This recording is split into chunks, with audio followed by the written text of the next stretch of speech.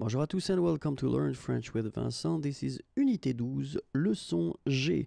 And in this lesson we'll see or we'll continue our series of videos covering the topic les préfixes et les verbes. And in this video we'll see the verb lever.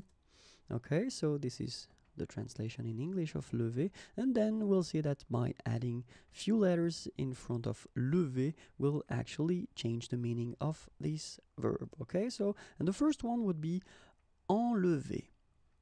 Enlever. Relever. Relever. Soulever. Soulever and that's it. If you want more videos, then youtube.com is waiting for you.